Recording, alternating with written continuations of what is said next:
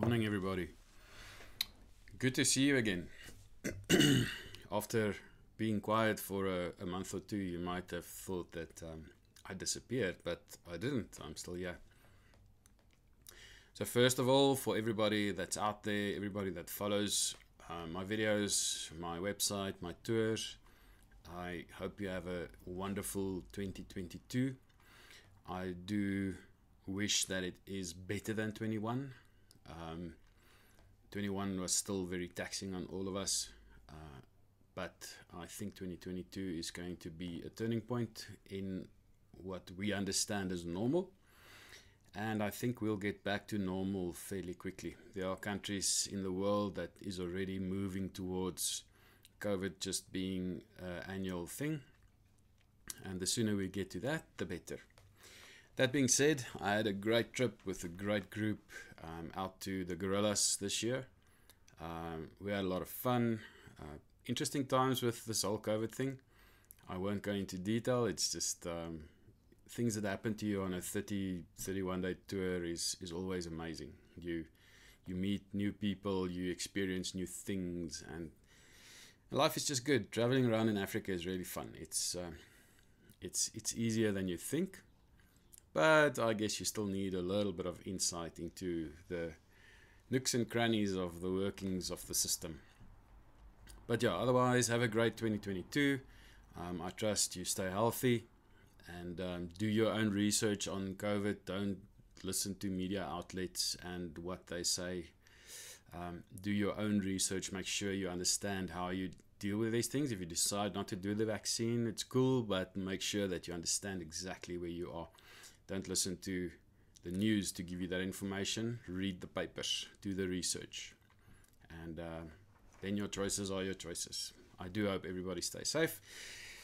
And with that said, let's get on with 2022. I said last year that I think um, I would like to do 22 as more of a celebration of um, of life because we really have a great area to tour in, and um, I want to quickly go through three of the routes that is uh, going to be available. And um, the one I just added this morning, so it is new. The other two you might have seen already. Uh, firstly, Kaokoland, Namibia is fully booked, uh, so no more bookings for that one. Primates and Serengeti also um, fully booked, so no more bookings on that one. Then in um, in July, we are going out to Botswana. Now, this is the new tour that I just added in. It's very much the same as my Botswana Blitz, and for those guys who've missed out on Botswana Blitz last year, um, this is going to be the one repl that replaces that one. I added an extra night, so it's eight nights instead of seven. So you'll see the price has gone up. Uh, it's eight nights instead of seven, and it just makes the traveling a little bit easier. So if you're interested in Botswana, you've never been on a trip, you don't know how these things work, you're a little bit scared to go on longer tours and you want to do something that, that gives you like an entry basic understanding of how overlanding works and how traveling with myself works, then Botswana Blitz is always one of those good entry points. Um, for one, it's a great trip. And um, if we go into the, it's on the website so you can have a look yourself. Um, but if we go down to the, um, the itinerary is there, the rough itinerary, uh, if we go down to the map, then we start at Khama Rhino Sanctuary, which is a normal starting point for me. Then I go up to um, Island for the day.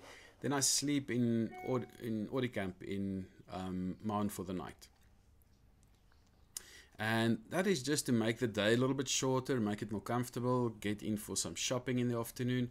The next morning you can do flights over the Delta if you feel like it. Um, I, there's enough time to do that. And then around about lunchtime, we head out to our campsite for the next three nights. And for those three nights, it's game viewing, it's boat ride, it's Moremi, it's um, the different areas of Moremi that we'll visit. Um, I normally visit the Blackpool Queenie area, uh, which is always great for game viewing. So we do a little bit of Moremi stuff.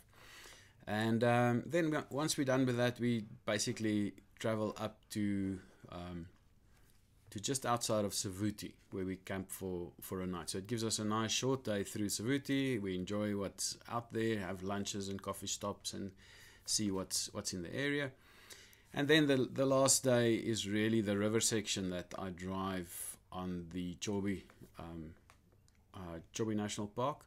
Normally I would sleep two nights in Kasane, but it's been working for me to go through from um, from the left hand side, from the Ngoma gate side, through to Kasane for the day. Um, it has been working for me. I've uh, I find that we have a bit more time to do our thing, and we can travel the full length of the riverfront um, from the left side to the right side, and you can see how the, the riverfront changes.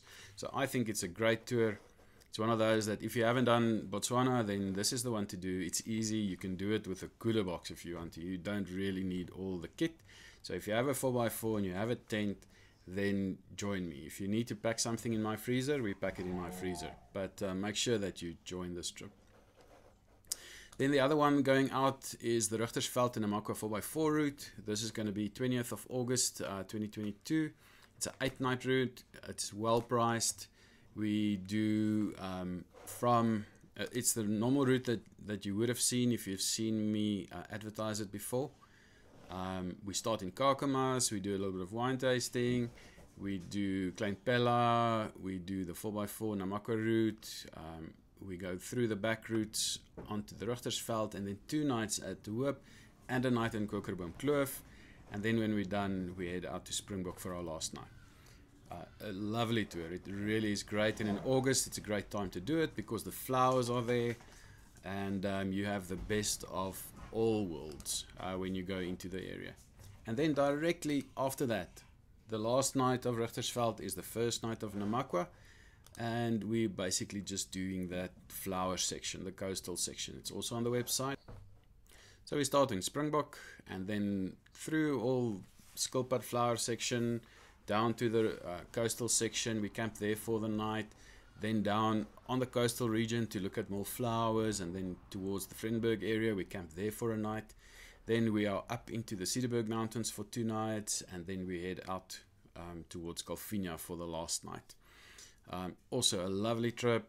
You can link the two, which will give you a, a really nice tour um, in the flower season for the Cape, and um, yeah, always a great one to do. So, if you haven't done the Richtersveld, do the Richtersveld. If you haven't done the flowers, then do the flowers. Um, if you have time to do both, just do both. I'll give you a little bit of discount if you do both together. Um, but yeah, it's it's a great trip to do. It's a very enjoyable one, and I try to book out campsites as far as I can to to make it a bit more special and a bit more private. But um, that is it for um, for the trips. I'm adding more trips as I go. I'm busy with it at the moment. Um, COVID is creating a little bit of headaches for me still. I don't want to cross too many borders except if it's a big tour like the Gorillas coming up now in May, June.